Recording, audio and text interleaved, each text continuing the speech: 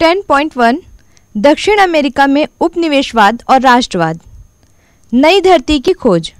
भारत की खोज में कोलंबस नामक नाविक स्पेन से तीन जहाज़ों के साथ निकला और सन चौदह में अटलांटिक महासागर पार करके अमेरिका के निकट के द्वीप समूह पर पहुँचा। कोलंबस ने सोचा कि वह भारत पहुँच गया। उसने उन द्वीपों को इंडीज और वहाँ रहने वाले लोगों को इंडियन कहा। आज हम इन द्वीपों को वेस्ट इंडीज के नाम से जानते हैं। समय के साथ यह पता चला कि यह नया महाद्वीप है, भारत नहीं है। लेकिन फिर भी अमेरिका के मूल निवासियों को आज भी रेड इंडियन कहा जाता है। 10.1.1 दक्षिण अमेरिका पर कब्जा। कुछ वर्षों में यूरोपीय नाविकों ने पूरे अमेरिका महाद्वीप के तट की यात्राएँ कर डाली। इस महाद्वीप को अमेरिका नाम दिया गया। इस नई भूमि पर कब्जे की संभावना ने स्पेन के पेशेवर सेनापतियों को आकर्षित किया। ये पेशेवर सेनापति यश और धन कमाने के लिए अपनी सेना तैयार करके स्पेन के राजा से अमेरिका में उनकी ओर से नए क्षेत्र जीतने की अनुमति लेते थे। वे अमेरिका में अपने लिए ज़मीन के बड़े टुकड़े घेरना चाहते थे ताकि वहाँ खेती व पशुपालन किया जा सके। उन दिनों यूरोप में आबादी तेज़ी से बढ़ रही थी और ज़मीन की कमी थी। ऐसे में एक पूरा महाद्वीप बसने के लिए मिले तो क्या बात थी? अमेरिका का एक और आकर्षण था। उन दिनों यूरोप में सोना चांदी का अभाव था। और यह अफवाह फैली कि अमेरिका में इनके बेशुमार भंडार और खाने हैं। योद्धा और सेनापति सोना चांदी लूटने की आशा में अमेरिका की ओर निकल पड़े।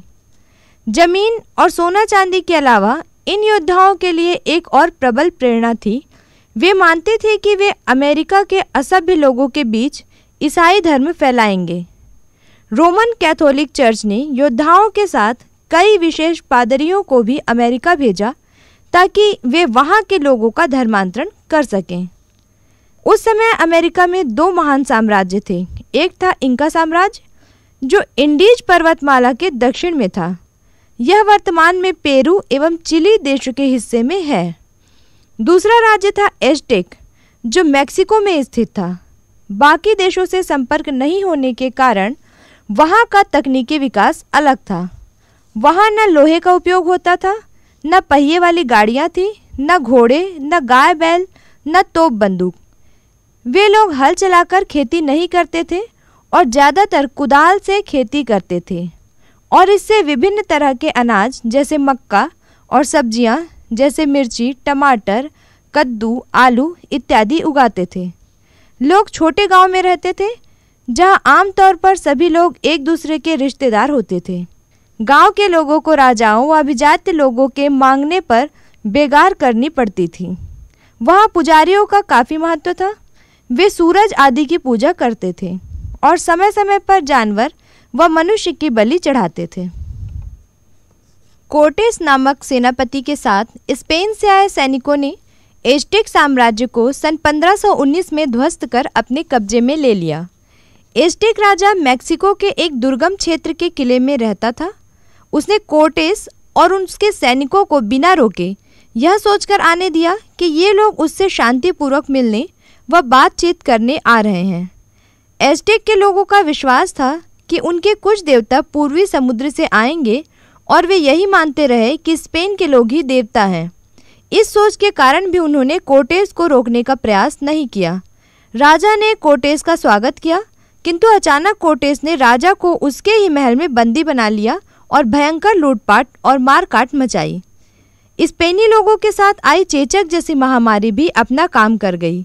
एस्टेक के सैनिक बीमारियों के कारण मारे गए या लड़ने की स्थिति में नहीं रहे। इस युद्ध में कोटेस की जीत के कई कारण रहे। स्पेनियों के हथियार, खासकर घोड़े, बंदूकें और तोपे, एस्टेक तीरों और भालों से ज़्यादा असरदार थे। एस्टेक राज्य को स्पेन का एक प्रांत घोषित किया गया। ज़्यादातर नागरिकों को ज़बरदस्ती ईसाई धर्म में दीक्षित किया गया और उनसे बेगार करवाई जाने लगी। लगभग इसी कहानी को दक्षिण अमेरिका के इंका साम्राज्य की राजधानी में सन 1533 में पिज्जारो द्वारा दोहराया गया। पुर्तगाल के नाविक भी कोलंबस की तरह भटकते हुए ब्राज़ील के तट पर पहुँचे। लेकिन ब्राज़ील प्रदेश में कोई स्थानीय राज्य नहीं था, वहाँ केवल कई शिकारी कबीले रहते थे। पुर्तगालियों ने उस इलाके पर अपना कब्जा जमा लिया और स्पेनियों की ही तरह वहाँ अपने लोगों को बसाकर खेती करने का प्रयास किया।